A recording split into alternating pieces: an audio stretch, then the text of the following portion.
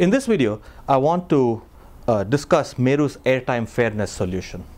And airtime fairness obviously is a really critical component of any enterprise wireless LAN that seeks to be a switch replacement or a wired replacement because predictability is crucial. And in order to achieve predictability, in the presence of a shared medium where you have different devices operating at different data rates and with different capabilities, it is absolutely important to be able to uh, essentially silo each device in terms of the amount of airtime or resources that it uses. Now, 802.11 as a protocol is a MAC layer protocol. And it is a contention based protocol, a CSMA CA based protocol, very similar to Ethernet, where devices use some variant of binary exponential backoff, essentially a randomized backoff, in order to access the channel. And once they access the channel, they transmit their frame. One or more frames.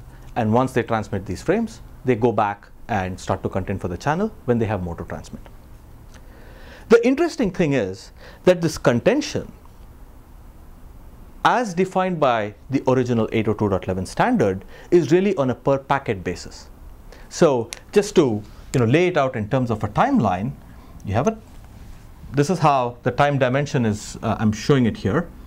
You have some period of time where the channel was busy, and let's assume you have a couple of different transmitters, right? So you have station 1 and station 2.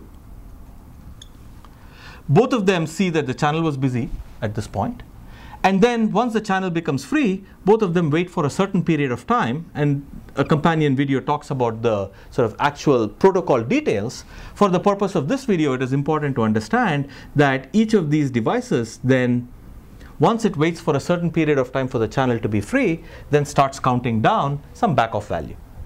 Let's say in this particular case that you know station 1 picked a value of what's that 4321. So it picks picks a value of 4 and station 2 picked a value of 5.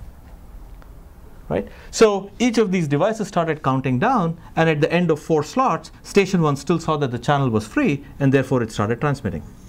During this period station 2 had a you know, backoff value of 1, therefore it couldn't transmit, therefore it stops counting down. Station 1 wins its transmission. It transmits one frame, and then its intended receiver sends an acknowledgement for it. So this is the data, and then station 1 continues. Right? Essentially, this entire phase starts again. So notice something really critical here. The first thing is this is a multiple access protocol. The second thing is that we created or we started afresh after each data transmission. So essentially, it's a memoryless system to some extent. It, there's actually some nuances of 802.11 that cause the system to have memory because station 2 remembers this backoff. We'll get into that in a separate video. But the point is the contention period is a memoryless system. After one transmission of data, the whole process starts again. How long is this data frame? It's irrelevant to starting this process again.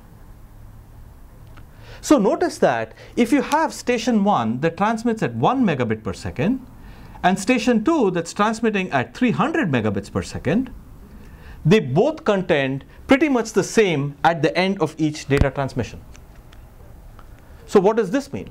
This means that unless you have some higher level way of controlling the amount of time that station 1 and station 2 use, station 1 will overwhelm the network. Because in terms of the contention, if they both use the same parameters, station 1 will win approximately half the time and station 2 will win half the time. When station 1 wins, it takes much longer, at least 300 times as long to transmit its frame as station 2. So if I just lay this out in terms of time, station 1, station 2, station 1, station 2. Notice the amount of data being sent might be exactly the same. It's just that the amount of time taken by station 2 is far lower because it's going 300 times as fast. So if you just look at this, it's pretty clear that station 1 is actually dominating the air time even though both of them are sending the same number of packets. As a result, the entire network comes closer to 1 megabit than 300 megabits. So the point here is, in a network, where different devices share the same medium but transmit at different data rates. There is a difference between packet time fairness or packet level fairness and time or resource level fairness. And the resource here, which is the common denominator, is one of time. So Meru pioneered this concept of airtime fairness wherein we are not trying to just equalize packets, though of course there is a mode in our system that allows us to do that, but in order to provide predictability, we equalize airtime.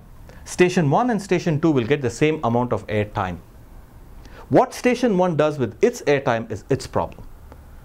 Station 2 gets its air time, what it does is its problem. So the idea is the following. We want to give station 1 and then give a bucket of time for station 2, during which time, because it's faster, it can pump in a lot more frames. And then station 1, and then station 2, etc. So notice that there are some situations where packet level fairness is appropriate. There are a lot of other situations where time level fairness is appropriate. And it's critical to have a system that can support multiple modes. Meru supports all the modes, but this airtime fairness or time-based fairness is our default mode because it leads to predictability. Now the question is how we do it.